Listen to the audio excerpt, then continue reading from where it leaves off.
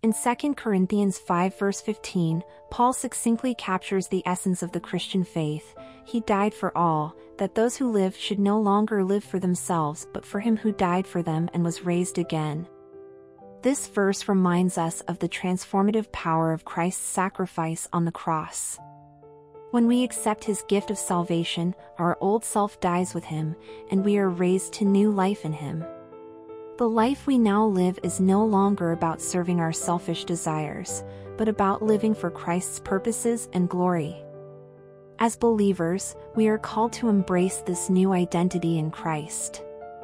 Our thoughts, actions, and desires should align with His will. We become ambassadors of His love and grace, seeking to reflect His character to the world around us. Let us daily surrender our lives to the one who gave Himself for us.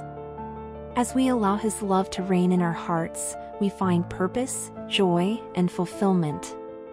In every step we take, may we live out the truth of 2 Corinthians 5 verse 15, bearing witness to the transformative power of Christ's love in our lives.